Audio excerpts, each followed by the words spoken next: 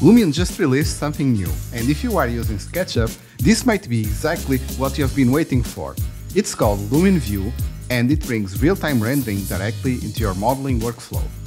No need to export or switch between apps. You just open your SketchUp model and suddenly you are looking at it with realistic lighting, shadows and real-time reflections. You can rotate around your project, adjust the sun position, or even change the background to a clean color for presentations. It's quick, responsive and intuitive.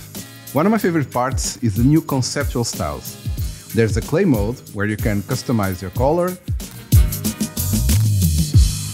a wood style that gives that architectural maquette look, and even a styrofoam version or glossy, which adds a more reflective material. If you want something a little bit more schematic, just turn on the edge outlines. You will also notice these icons in the top right corner.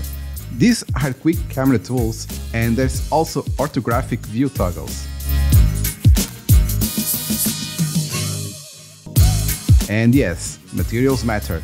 PBR materials work beautifully. Glass looks like glass, water reflects as it should, and everything updates instantly.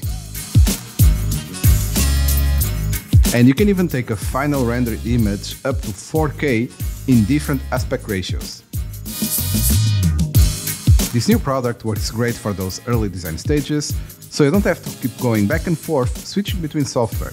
It's still early, but this definitely feels like a solid step forward for Lumion. Lumion View will be available soon as early access and available to anyone with a Lumion Pro subscription. And for every Pro seat you have, you can invite up to 10 team members to use Lumion View, completely free. Check out more information on their website, link in the description.